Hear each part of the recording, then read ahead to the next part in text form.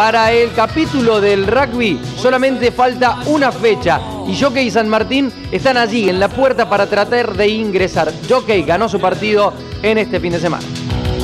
puedo ser tu violador.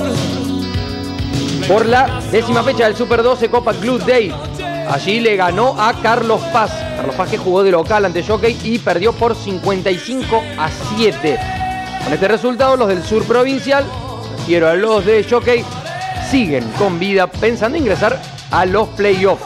En la jornada del domingo se jugó este partido que marcaba el cierre de la fecha anteúltima de la fase 2.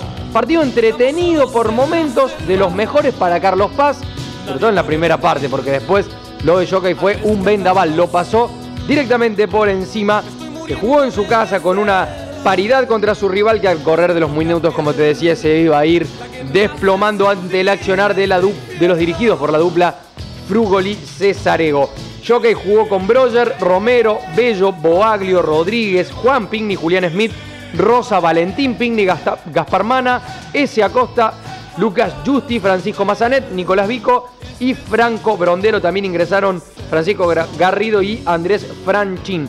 Los tantos trae para Jockey, dos de Juan Manuel Pigni, uno de Mazanet, otro de Vico, otro de Smith, uno de Franchín, otro de Brondelo y otro de Justi. Convirtió en cinco ocasiones Franco Brondelo. En la última fecha, conjunto Jockey necesita ganar si es que quiere acceder a los playoffs.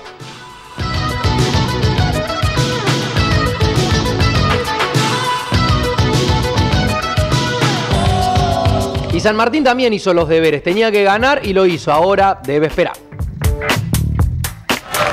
Si los fanas de San Martín tuvieran que elegir un deseo para que se cumpla ya, seguro que sería que esta fecha del Super 12 hubiera terminado el mismo día sábado cuando el conjunto de San Martín ganó, porque con ese resultado había pasado al su eterno rival Jockey de Villa María y lo estaba dejando prácticamente afuera y los ubicaba en la sexta colocación a los de San Martín. Con esa posición, la número 6 en este certamen se hubiesen clasificado, pero claro, falta una fecha. Jockey tiene que jugar frente a Tablada, que es puntero de esta liga y necesita ganar para seguir con vida y esperar a ver qué pasa con el resto de los resultados. Otro de los equipos que está tratando también de empujar es el conjunto de Palermo Bajo. San Martín festejó por algunas horas, quedó sexto y ya piensa en su visita a Córdoba que se presenta como de alto voltaje allí frente a Córdoba Athletic en Barrio Jardín. La victoria fue 27 a 14 en este partido para los villamarienses que sueñan con meterse en la próxima instancia de la Unión Cordobesa de Rugby.